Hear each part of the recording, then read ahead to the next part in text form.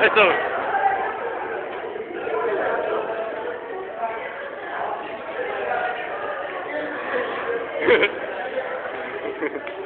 So, paklit mata man oh. Wala. Paano